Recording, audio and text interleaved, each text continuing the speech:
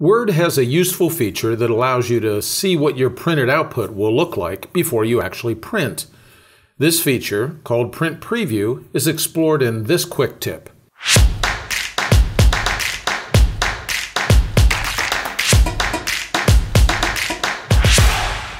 The Print Preview feature of Word is helpful because it allows you to review what you are going to print to make sure it is correct.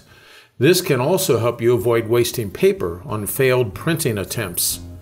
Print Preview kicks into gear automatically when you choose to print. Press Ctrl P, you can see the Print Preview area on the screen. The preview of your document differs from the other viewing modes of Word in that it shows an exact representation of what your printed output will look like.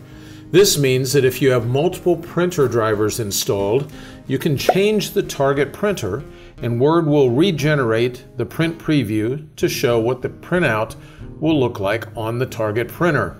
Print Preview also includes several controls which you can see around the view. You can move around the print preview by clicking on the page number control down here near the bottom.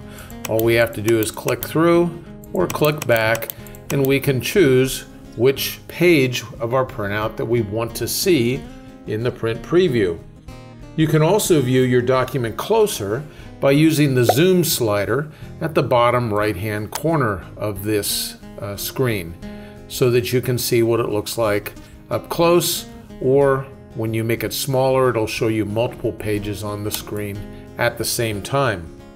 When you are satisfied with what is shown in Print Preview, just click the Print button to actually print the document.